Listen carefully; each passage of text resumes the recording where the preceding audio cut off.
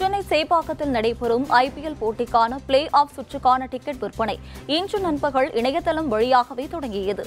IPL தொடரில் சென்னை சேப்பாக்கம் மைதானத்தில் இதுவரை நடைபெற்ற ஏழு லீக் போட்டிகளுக்கும் நேரடியாகவும் ஆன்லைன் மூலமாகவும் விற்பனை செய்யப்பட்டு வந்தது. இந்நிலையில் மே இருபத்தி மூன்று இருபத்தி நான்காம் நாட்களில் சேப்பாக்கம் மைதானத்தில் முதல் இரண்டு பிளே ஆஃப் போட்டிகள் நடைபெற உள்ளது இந்த போட்டிகளுக்கு ஆன்லைனில் மட்டுமே டிக்கெட் விற்பனை செய்யப்படும் என்று சென்னை சூப்பர் கிங்ஸ் அணி நிர்வாகம் தரப்பில் தெரிவிக்கப்பட்டது.